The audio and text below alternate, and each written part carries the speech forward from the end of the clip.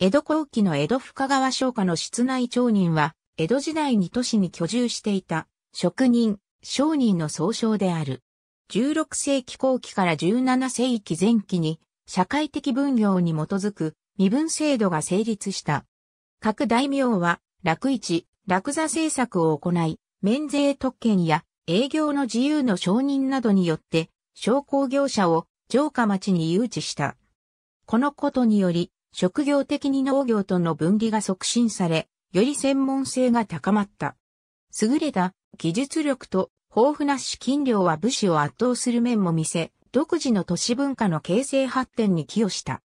町人は特に家屋敷を所有する家持ち層で表通りに店を構えるブルジョワ階級である旦那衆から裏通りの裏棚層の仮想町人まで階級的落差があり、富裕町人は調整役時にも参加し、町年寄りを選ぶ、選挙権や非選挙権を持つなど、社会的身分や公的権利、義務を持っていた。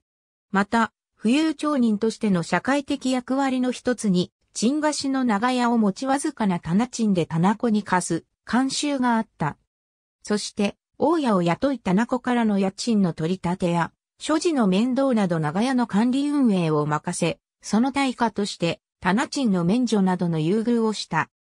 都市には富裕、仮想町人のほか没落した都市仮想民をはじめとする様々な階層の人間が居住しており、落語などに出てくる八さん、熊さんなどは借家人であるため町人には当たらない。戦後の実証主義的歴史研究においては、町人、職人、商人など、近世の社会集団に関する研究が進展する。1975年には、中井信彦、町人小学館、日本の歴史において、体系的な町人論が展開され、1980年代以降には、中世史分野における、網野義彦や桜井英二らの小職人研究とも、相互に関係して、吉田信之、塚田隆らの都市史研究の進捗に伴い、町人研究が進展した。町女房は、江戸時代の都市、町人の家に住む女性の総称である。